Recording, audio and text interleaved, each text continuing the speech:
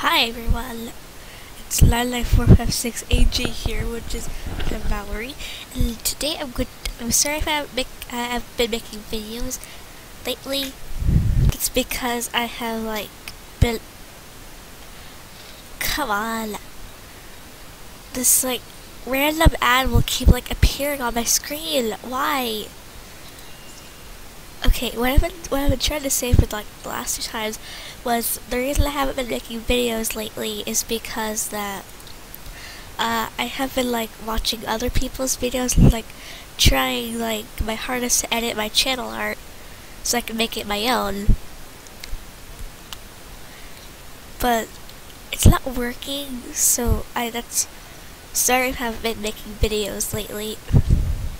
So what this video is to be about is I'm to go on Jamaa Township and I'm to like ask people to train me and I'm to show you guys the trades and I'll and you have to leave in the comments uh, what trades you think those that were not fair and the trades that you think were fair.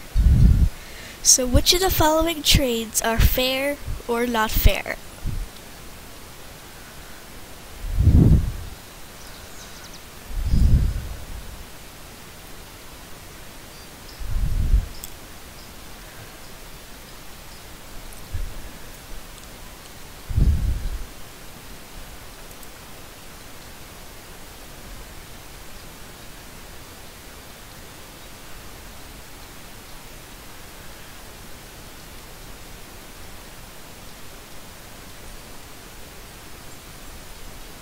Okay guys, those are all the trades that I got. So don't forget to leave in the comments what trades you think were fair. Personally, I declined all of them. Sorry. I didn't think those trades were really fair. So leave in the comments what you think. So I declined all those trades. Sorry. But they were not really fair. Mostly got trades for the Ramek Eagle Wings, the bow and arrow, spike collar, and the phantom pipe. So all those trades I got, sorry guys, they weren't really fair to me.